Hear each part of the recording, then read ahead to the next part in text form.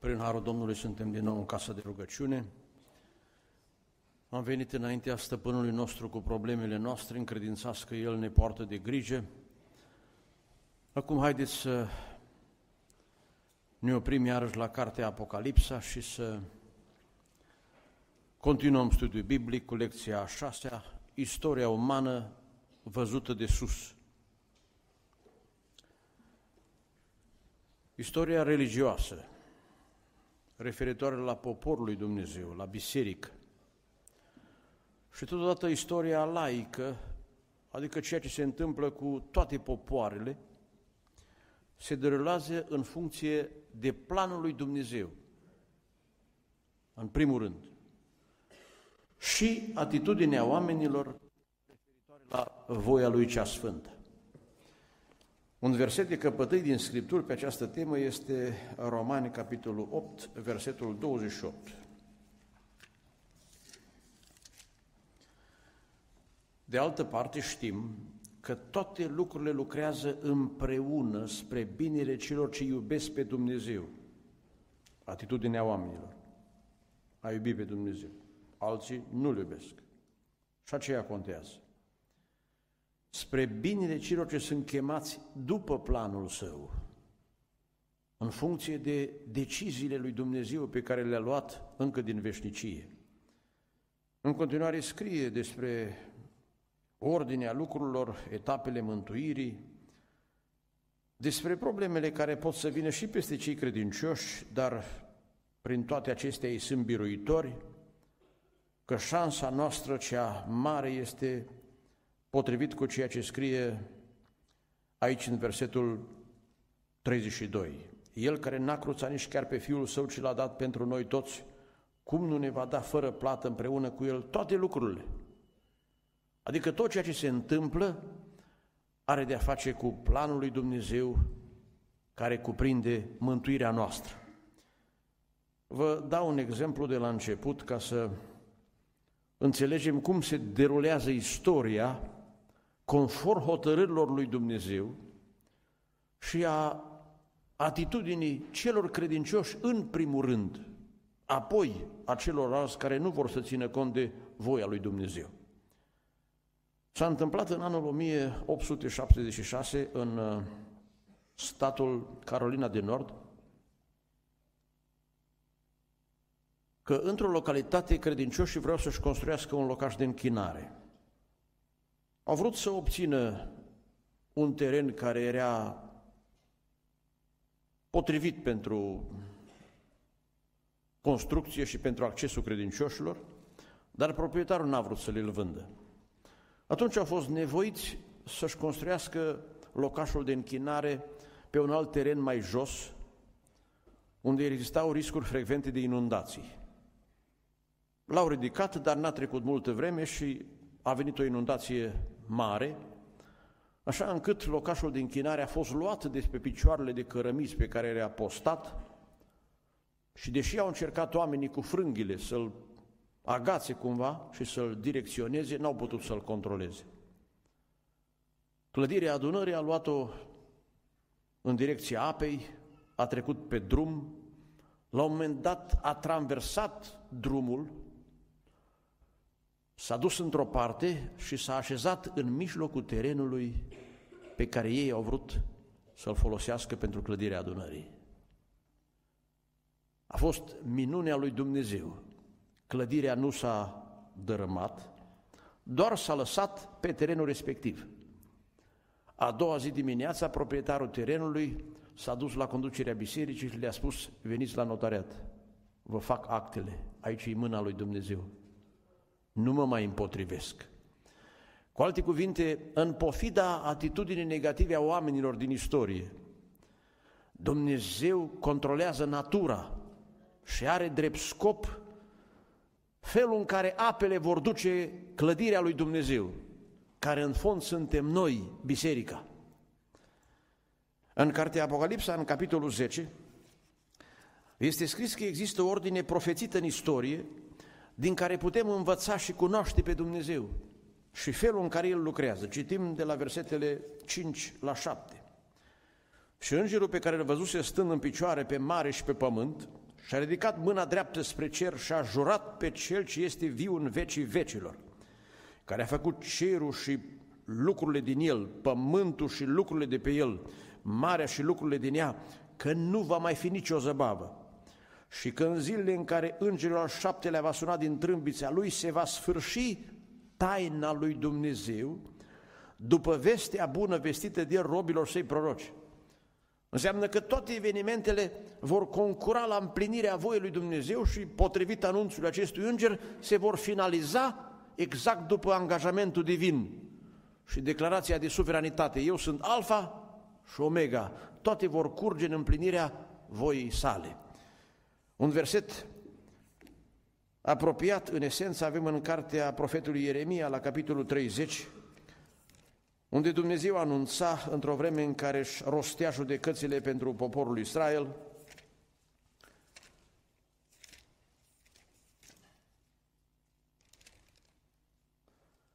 Citim versetele 23 și 24.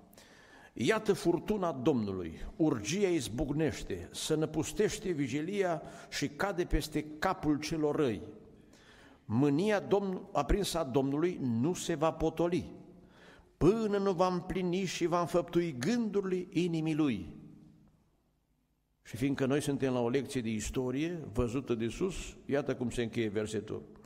Veți înțelege în totul lucrul acesta în cursul vremurilor în felul în care vor curge evenimentele. Într-o primă parte a acestei lecții ne vom opri la câteva evenimente istorice apocaliptice de referință, iar într-o a doua parte la câteva principii divine și scopuri ale lui Dumnezeu. În Scripturi, în Vechiul și Noul Testament, sunt prezentate patru pedepse grozave ale Domnului cu care el acționează în cursul istoriei asupra oamenilor. Iată ce este scris în Ezechiel, capitolul 14. În mod repetat, eu citesc doar versetul 21. Totuși, așa vorbește Domnul Dumnezeu, măcar că trimit împotriva Ierusalimului cele patru pedepse grozave ale mele. Sabia, foametea, fiarele sălbatice și ciuma, ca să nimicesc cu desăvârșire din el oamenii și vitele. Ceva asemănător cum s-a întâmplat la potop când Dumnezeu a fost nevoit să ia măsuri.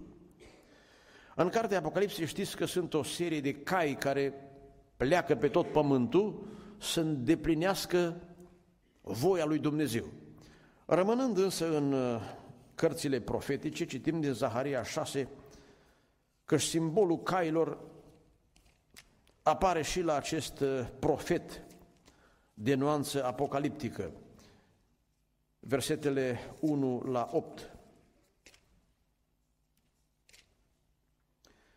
Am ridicat din nou ochii și m-am uitat și iată că patru care ieșau dintre doi munți și munții erau de aramă. La carul din tâi erau niște cai roșii, la al doilea niște cai negri, la al treilea niște cai albi, și la al patrulea niște cai bălțați și roșii. Exact câte peceți și câți cai apar în Apocalipsă. Am luat cuvântul și am zis îngerului care vorbea cu mine, ce înseamnă aceștia Domnul meu? Noi ne folosim de informații de aici, că în Apocalipsă nu avem explicații. Îngerul mi-a răspuns, aceștia sunt cele patru vânturi ale cerurilor care ies din locul în care stăteau înaintea Domnului întregului pământ. Deci cai sunt un simbol al puterii lui Dumnezeu care se manifestă prin îngeri și prin lumea creată și dă explicație de la versetul 6. Caii cei negri Hamas la unul din cară s-au îndreptat spre țara de la miază noapte și și-au rostit hotărârile și judecățile Domnului acolo. Și cei albi au mers după ei. Cei bălțați s-au îndreptat spre țara de la miază zi cei roșii au ieșit și au cerut să meargă să cutrere pământul. Și îngerul le-a zis, duceți-vă de cutrerați pământul. Și au cutrerat pământul. El m-a chemat și mi-a zis, iată că cei ce se îndreaptă spre țara de la miază noapte, fac să se mai potolească mânia mea în țara de la miază noapte. Și mânia Domnului s-a potolit atunci, în general, prin rostirea judecăților sale. Dar să ne deplasăm în cartea Apocalipse pentru a vedea cele patru pedepse, cei patru cai a căror imagine este prezentată de ruperea peceților. În primul rând, în Apocalipsa, capitolul 6, versetul 4, citim, și s-a arătat un alt cal, un cal roș. Cel ce sta pe el a primit puterea să ia pacea de pe pământ, pentru ca oamenii să se junghie unii pe alții și i s-a dat o sabie mare. Războaiele sunt o formă de intervenție a lui Dumnezeu în umanitate. Se consideră din calculele oamenilor că în cei șase mii de ani de istorie au fost aproximativ 15.000 de războaie. Prin ele este decimată populația și se cauzează o serie de nenorociri. Spunea un uh, frate care a fost dus la lucru în Iugoslavia înainte de izbucnirea războiului și fărămițarea fostei republici comuniste, că a participat fiind la lucru și trimis de omul la care lucra într-o zi de sărbătoare, evident din exterior a văzut desmățul și stricăciunea, păcatul care era în zona aceea. S-a întors la locul unde era cazat și când a povestit cu groază bătrânului de acolo, acesta i-a zis, să știi că întotdeauna aceste stricăciuni cheamă războiul. Și peste Iugoslav, cum știți, deși într-o proporție redusă, au venit acești cai roșii sau calul acesta roșu. Chiar uh, la începutul acestui an a fost o vedenie, se făcea că era un cal de culoare roșu și galben care vroia să pornească pe o parte a pământului. Bătea din picioare neastâmpărat. Un înger s-a prezentat lângă el și a zis, încă puțin și îți dau drumul. Istoria este plină de astfel de scene prin care Dumnezeu lovește umanitatea ca să își vadă atitudinea lor greșită și să se întoarcă la Dumnezeu. În cartea de Deuteronom este scris despre blestemele Domnului între care este cuprins și războiul. Citesc versetul 25.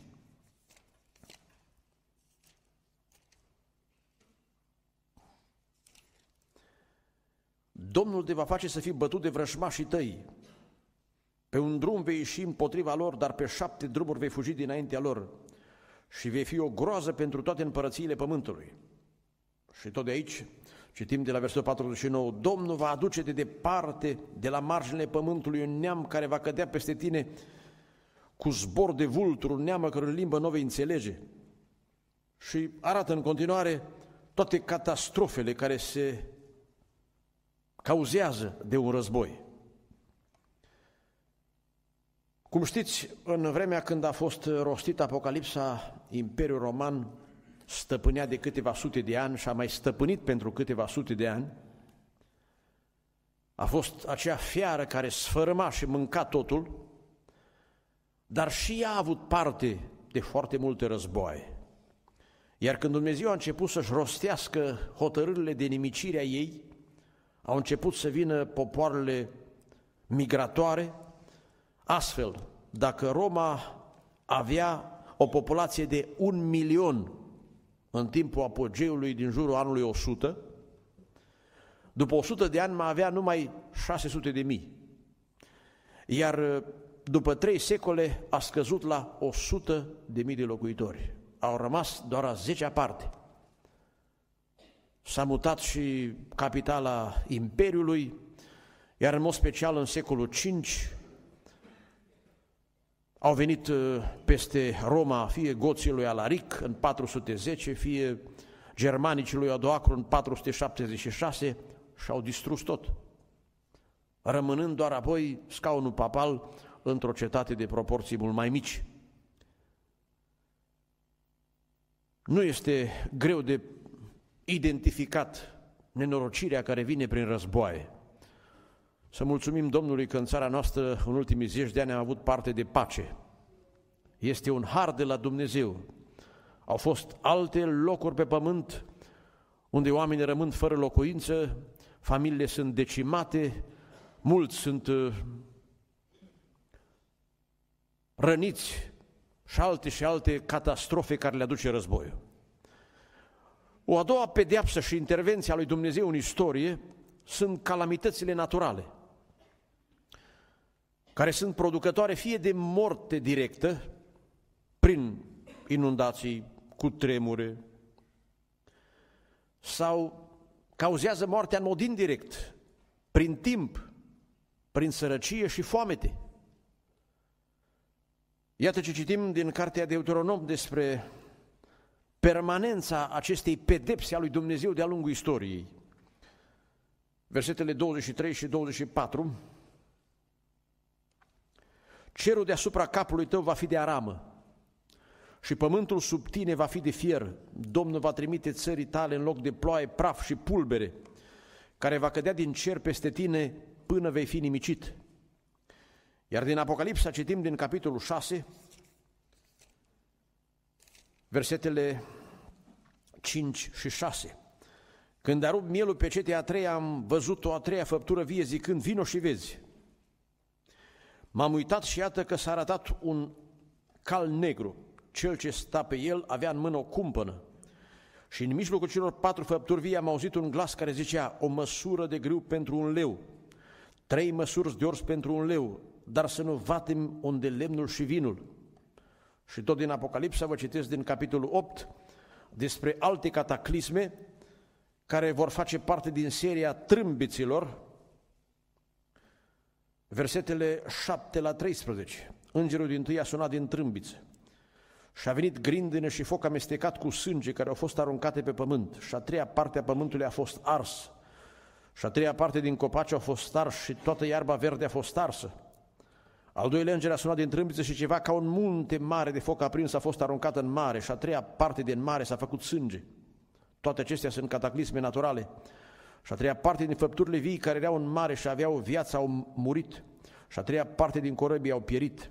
Al treilea înger a sunat din trâmbiță și a căzut din cer o stea mare care ardea ca o făclie și a căzut peste a treia parte din râuri și din izvoarele apelor. Steaua se chema Pelin și a treia parte din ape s-au prefăcut în Pelin și mulți oameni au murit din pricina apelor, pentru că fuseseră făcute amare. Al patrulea înger a venit, a sunat din trâmbiță și a fost lovită a treia parte din soare și a treia parte din lună și a treia parte din stele, pentru că a treia parte din ele să fie întunecată, ziua să-și piardă a treia parte din lumina ei și noaptea de asemenea. M-am uitat și am auzit un vultur care zbura prin mijlocul cerului și zicea cu glas tare, anunțând noi pagini de istorie, vai, vai, vai, de locuitorii pământului, din pricina celorlalte sunete de trâmbiță a celor trei îngeri care au să mai sune. Întotdeauna au fost astfel de necazuri, dar pe măsură ce timpul avansează, ele se vor înteți. Am citit o statistică dacă în secolul XIX au fost, să zic, un număr de 10 războaie, 10 ă, cutremure de o anumită intensitate mai mare, același număr s-a repetat într-un sfert de viac, urmând ca apoi să fie mai mult de atâtea în doar un deceniu. Sunt evidențe care dovedesc că Dumnezeu se judecă cu omenirea din ce în ce mai mult în funcție de atitudinea lor de respingere și de păcătoșenie. Dumnezeu este nevoit să miște pământul.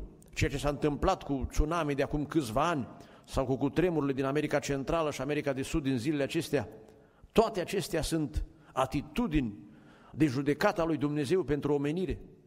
El avertizează, îi lovește. În Europa, cum știți, în ultimii ani au fost inundații, Africa este amenințată de secetă și alte părți ale globului. Dumnezeu vorbește prin toate acestea. Cum zice psalmistul, el pune mâna pe fulgerul lui, controlează ploaia, grindina și toate celelalte. Însă oamenii nu vor să înțeleagă. Am fost în Grecia în urmă câțiva ani și era o discuție, îmi spuneau frații, pe tema unui cutremur ce avusese loc în regiunea aceea.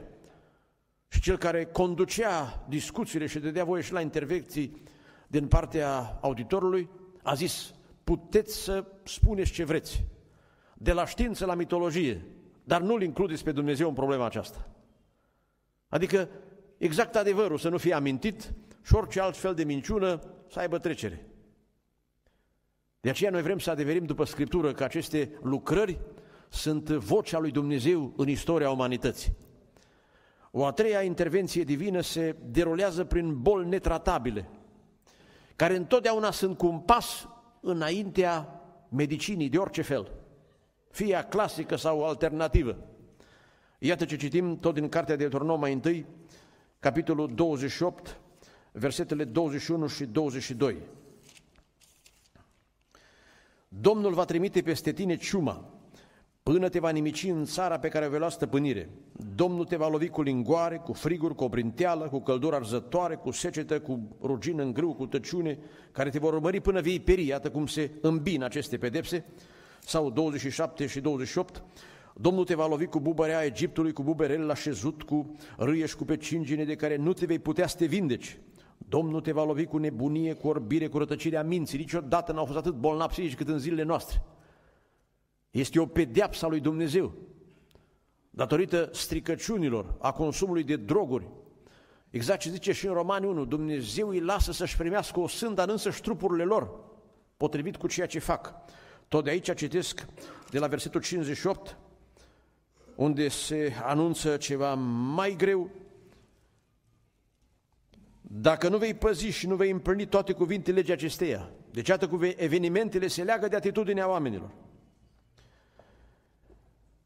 Domnul te va lovi în chip minunat, pe tine și sămânța ta cu răni marși și îndelungate, cu boli grele și necurmate. Va aduce peste tine toate bolile Egiptului de care tremurai și ele se vor lipi de tine. Ba încă Domnul va aduce peste tine până vei fi nimicit toate felurile de boli și de răni care nu sunt pomenite în cartea legii acesteia.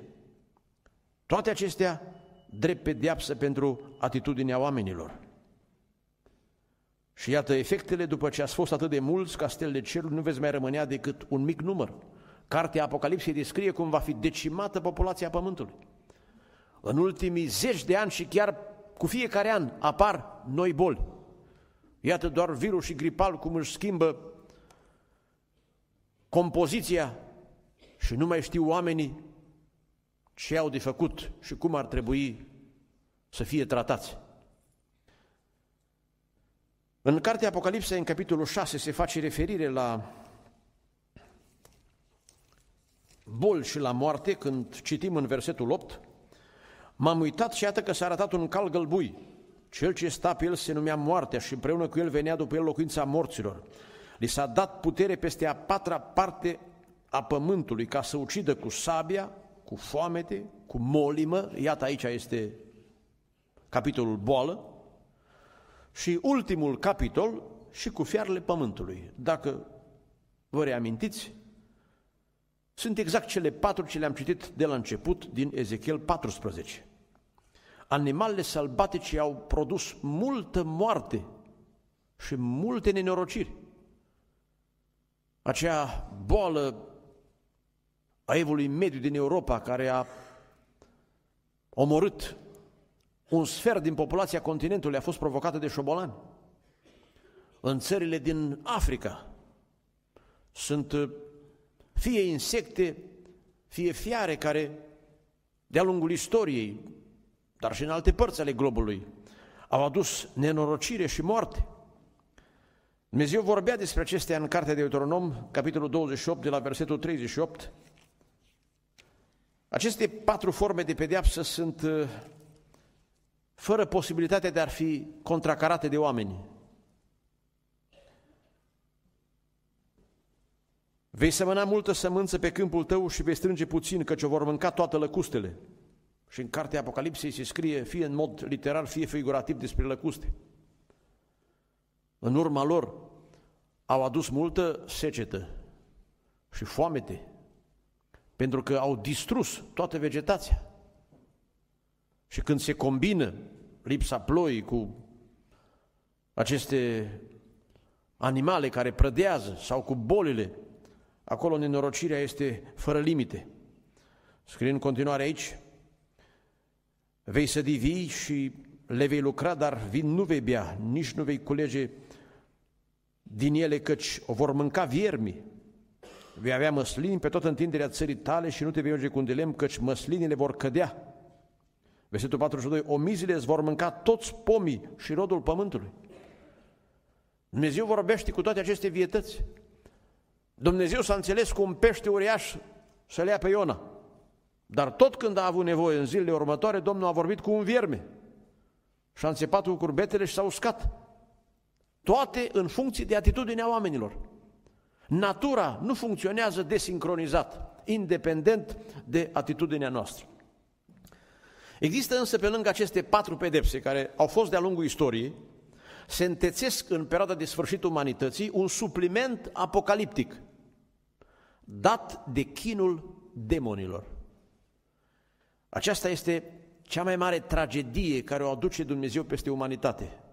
Armagedonul spiritual. Citim în cartea Apocalipsa, capitolul 12, versetul 12, astfel.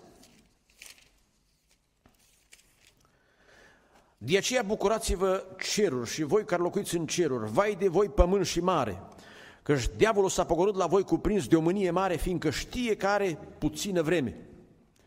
Deci balaurul coboară din cer și pe pământ atacurile lui împotriva oamenilor se înmulțesc. Dar și din infern, din adânc, se suie alte cohorte demonice. Iată cum citim în Apocalipsa, capitolul 9, despre sporirea efectivelor din adânc. Citesc de la versetul 1. Îngerul al cincilea a sunat din trâmbiță și am văzut o stea care căzuse din cer pe pământ și s-a dat cheia fântânii adâncului. Deci diavolul căzut din cer are drept să își aducă în ajutor sub libertatea dată de Dumnezeu, căci demonii nu pot să facă altceva, duhurile. A deschis fântâna adâncului, din fântână s-a ridicat un fum ca fumul unui cuptor mare. Și soarele și văzduhul s-au întunecat de fumul fântânii. Deci locurile unde sunt așezați demonii vor face să fie o densitate fără precedent. Din fum au ieșit niște lăcuste pe pământ și li s-a dat o putere ca puterea pe care au scorpile pământului. Deci iată ce comparații, cât de dură, cât de dureroasă va fi acțiunea lor. Li s-a zis să nu va teme iarba. Deci acești demoni n-au treabă cu natura, au treabă cu oamenii.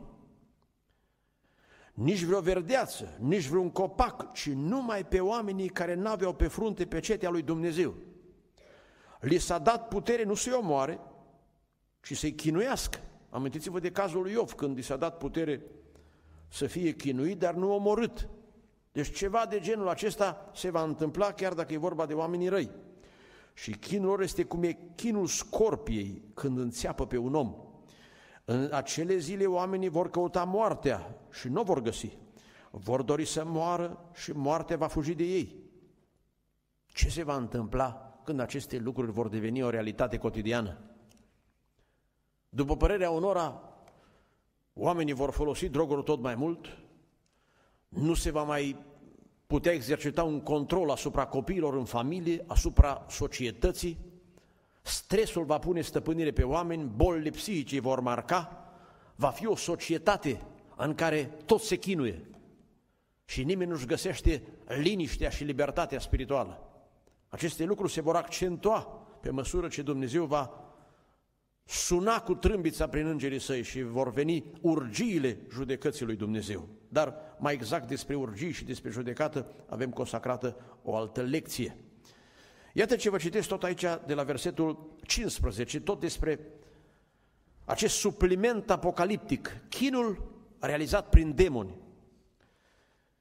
Și cei patru îngeri care stăteau gata pentru ceasul, ziua, luna și anul acela, au fost dezlegați ca să omoare a treia parte din oameni. Oștirea lor era număr de 20 de mii de ori 10 mii de clăreți, le-am auzit numărul. Și iată cum mi s-au arătat în vedenie, caii și clăreții. Ascultați ce imagine înfiorătoare. De fel este asemănătoare cu a lăcustilor, că doar e vorba de aceeași lucrare. Comparația este foarte evidentă, asemănarea foarte mare. Aveau platoșe ca focul, iacintul și pucioasa. Capetele cailor erau ca niște capete de lei și din gurul lor ieșea foc, fum și pucioasă. A treia parte din oameni au fost uciși de aceste trei urgii, de focul, de fumul și de pucioasa care ieșeau din gurile lor, căci puterea cailor stătea în gurile și în cozile lor. Iată cum se manifestă influența demonică, prin gurile lor și prin cozile lor, ca și balaură care ademenea. Cozile lor erau ca niște șerpi cu capete și cu ele vătămau. Sunt evidențe clare a unor forțe demonice. Însă, spre liniștea noastră, să nu uităm ce am citit aici, căci aceste forțe demonice n-au putere asupra celor credincioși. Domnul a spus în Evanghelie că nouă ne-a dat putere să călcăm peste toată puterea vrășmașului. Va fi mai greu când se vor înteți acești oștiri demonice să călcăm peste ei. Însă, câtă vreme ne vom supune lui Dumnezeu și așa cum au fost adesea mesaje din partea Domnului că vrea să ne întărească pentru vremurile ce vin, nu e vorba doar de sărăcie și de nevoi fizice. În primul rând, trebuie să avem în vedere aceste atacuri demonice. Omenirea noastră va fi pradă demonilor. Să ne oprim acum la câteva principii și scopuri care le are Dumnezeu pe măsură ce se derulează aceste evenimente. Ele sunt controlate prin îngeri. În primul rând, îngeri buni. Dar, în egală măsură, Dumnezeu poate folosi și demoni. Îi se supun și execută scopuri pentru planul său. În cartea Apocalipsa, capitolul 8, versetul 6, este o imagine a felului cum îngerii sunt puși în slujba lui Dumnezeu să execute toate aceste lucrări. Și cei șapte îngeri care aveau câte șapte trâmbițe s-au pregătit să sune din ele, să intre în executarea celor poruncite de Domnul. Sau, iată ce vă citesc din capitolul 7, după ce am văzut patru îngeri care stăteau în picioare în cele patru colțuri ale pământului, totul sub control. Ei țineau cele patru vânturi ale pământului ca să nu sufle, vânt pe pământ, nici pe mare, nici peste vreun copac. Și am văzut un alt înger care se suia din sprătărisul soarelui și care avea pecetea Dumnezeului celui viu. El a strigat cu glas tare la cei patru îngeri cărora le fusese dat să vateme pământul și marea, zicând, nu vă tămați pământul, nici marea, nici copacii, până nu vom pune pecetea pe fruntea slujitorului Dumnezeului nostru. Deci totul, ceea ce execută îngerii, ne are în vedere în primul rând pe noi, cei care trebuie să ne pocăim. Întrucât nici noi nu ne-am pocăit toți de voie bună. Și adesea dacă ne dă Dumnezeu libertate, devenim lumești. A fost descoperit în Uniunea Sovietică, în vremea de prigoană, că Dumnezeu va aduce libertate, mulți vor putea părăsi țara, ceea ce își doreau ei, dar Domnul a avertizat spunând, însă mulți se vor îndepărta de credință. În aceste condiții Dumnezeu este nevoit să recurgă din nou la măsuri prin care să ne readucă cu privirea îndreptată spre cer și să ne desprindă de pământ. Îngerii joacă acest rol. Însă, pe măsură ce aceste judecăți se rostesc, sunt oameni care nu se pocăiesc. Iată ce vă citesc din capitolul 9, de la versetul 20. Ceilalți oameni care n-au fost uciși de aceste urgii, nu s-au pocăit de faptele mâinilor lor, ca să nu se închine dracilor și idolilor, vedeți, problema numărul unu este închinarea, de aur, de argint, de aramă, de piatră, de lemn, care nu pot nici să vadă, nici să audă, nici să umble.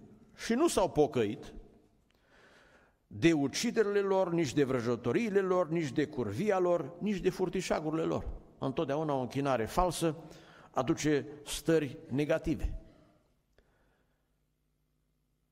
Mai aș menționa din cartea Apocalipsei că îngerii buni, în timp ce fac toate aceste slujiri, sunt într totul de acord cu voia lui Dumnezeu, ei nu primesc închinare.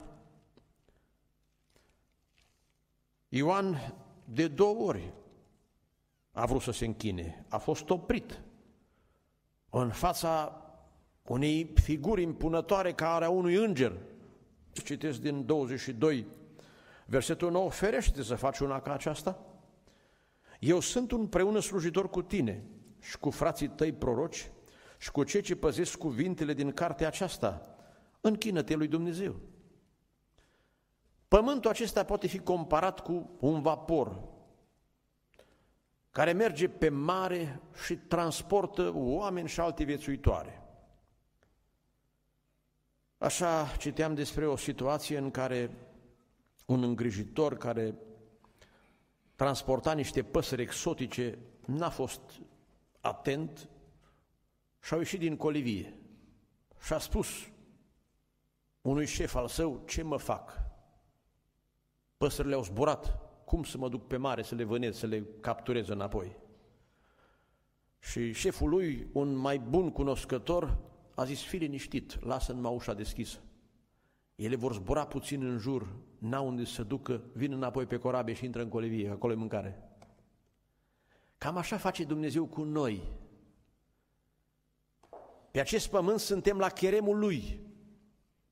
Și Dumnezeu mai scutură pământul, mă aduce câte norocire, taie din porția de pâine, mai îngăduie câte o boală, ca să ne introducă în colivie. Vrea să intrăm în casa sa, în interiorul bisericii sale și să ne conducă spre împărăția sa. Însă sunt unii oameni care cu toate aceste metode de disciplinare divină nu vor. Căci animale au intrat din toate soiurile și oameni vor fi mântuiți din toate neamurile. Dar unii nu vor. Situație în care Dumnezeu este nevoit să accentueze gravitatea pedepselor și să închide ușa mântuirii. Punctul cel mai însemnat a celor ce le discutăm în această seară e faptul că pe acest fond al unui pământ amenințat de mânia Domnului, de pedepse și de necaz, are loc vestirea Evangheliei. Toate aceste evenimente sunt în favoarea lucrării lui Dumnezeu. Ce v-am spus de la început, toate lucrează împreună spre binele celor credincioși, se adeverește de-a lungul istoriei. Dumnezeu vrea ca oamenii să se pocăiască văzând aceste norociri. De aceea zice Petru în a doua sa epistolă, capitolul 3, văzând aceste lucruri, ce fel de oameni? Ar trebui să fiți voi, adică toate acestea trebuie să ne împingă spre pocăință. Doamne ajută-ne! În Apocalipsa 6 cu 2 este prezentat un călăreț Saul care pornește biruitor. Vreau să înțelegem că toate biruințele celor răi, cum zice Iov, sunt scurte. Dar lucrarea Evangheliei va triumfa pe fondul războaielor și altor nerociri. Lucrarea Domnului merge înainte. Se împlinește ce scrie în Apocalipsa 14 cu versetul 6 și 7. Și am văzut un alt înger care zbura prin mijlocul cerului cu o Evanghelie veșnică, și nu cred eu că este o altă Evanghelie decât a mântuirii, că al nume nu este dat. Pentru ca să o vestească locuitorul pământului oricărui neam, oricărei seminții, oricărei limbi și oricărui norod. El zicea cu glas tare, temeți-vă de Dumnezeu și dați-i slavă. Sunt ultimele apeluri divine. Căci a venit ceasul judecății lui și închinați-vă celui ce a făcut cerul și pământul, marea și zvoarele apelor. Un lucru foarte important e faptul că pe parcursul celor șapte peceți și a celor șapte trâmbițe, deși sunt nenorociri peste întreg pământul, oamenii au drept să se pocăiască. Ușa Harului este încă deschisă. Dar, după ce se termină cu pecețile și cu trâmbițele odată cu începerea urgiilor, se închide ușa mântuirii. Vreau să înțelegeți că simbolul trâmbiților presupune receptarea unui mesaj. Urgiile nu mai au trâmbițe, adică pentru oameni nu mai răsună nimic. Nu mai este nicio veste bună, nici un înger cu Evanghelie veșnică.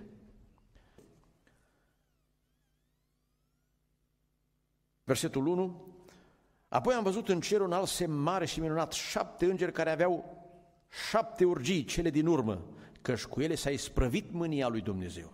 Versetul 8. Și templul s-a umplut de fum din slava lui Dumnezeu și a puterii lui și nimeni nu putea să intre în templu până se vor sfârși cele șapte urgii ale celor șapte îngeri.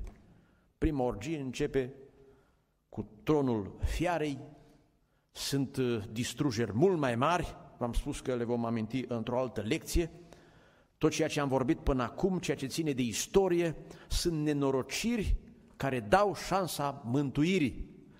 E paharul amestecat.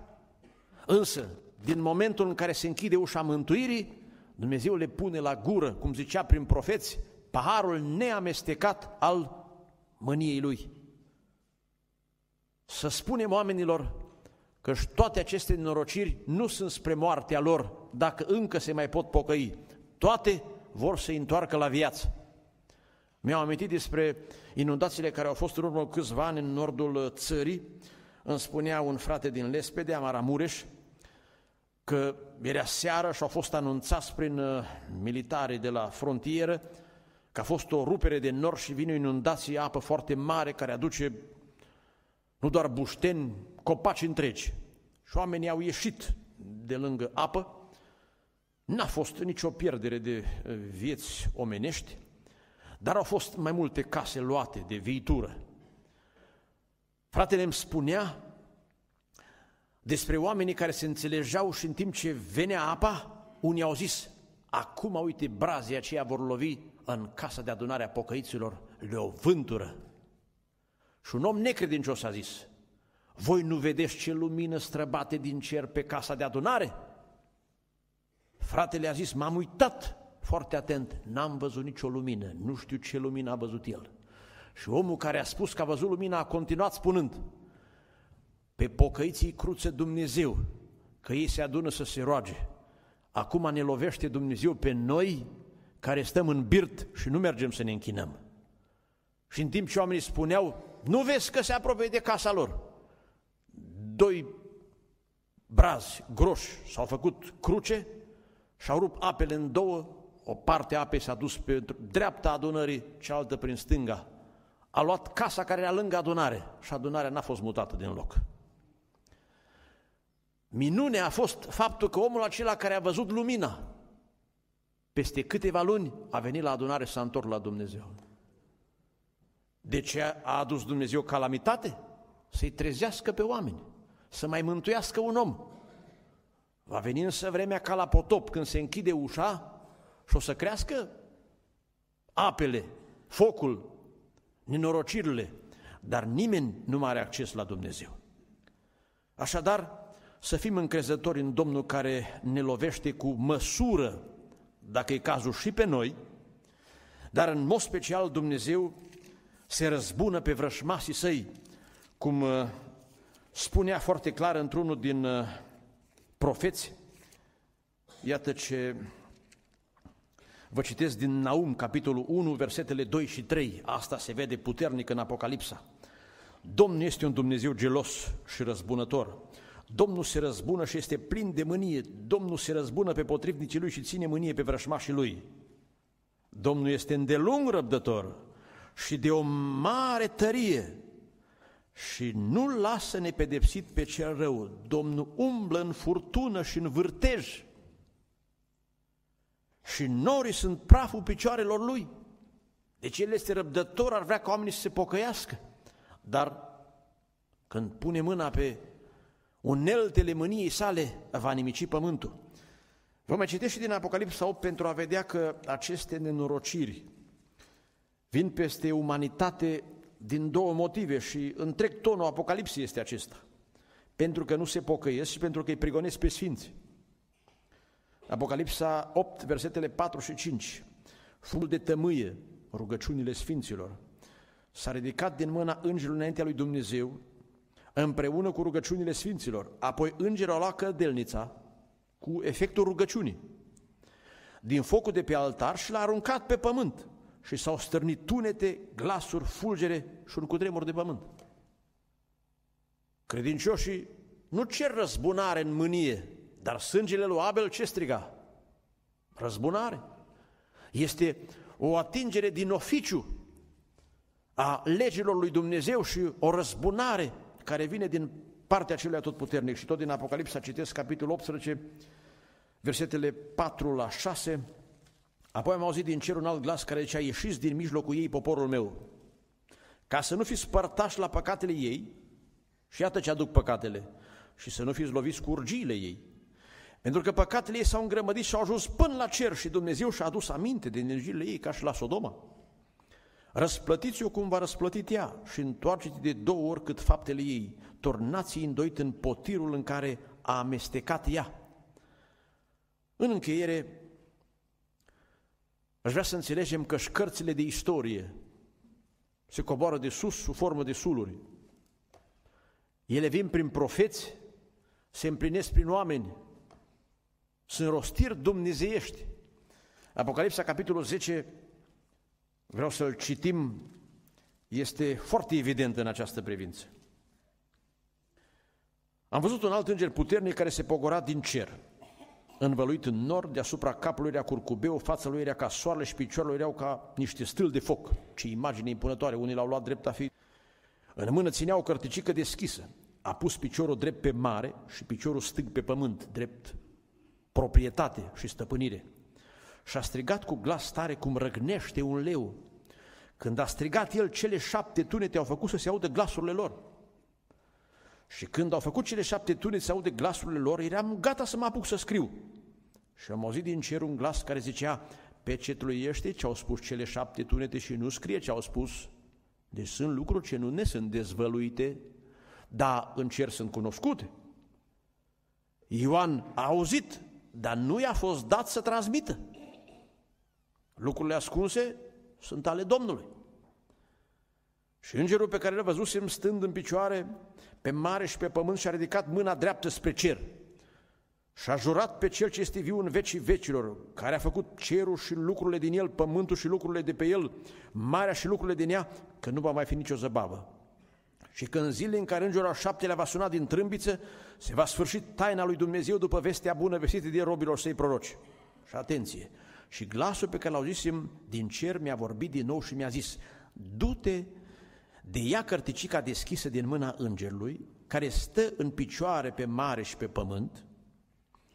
M-am dus la înger și am cerut să-mi dea cărticica. Iau, mi-a zis el, și mănânc-o. Ea îți va amărâ pântecele, dar în gura ta va fi dulce ca mierea.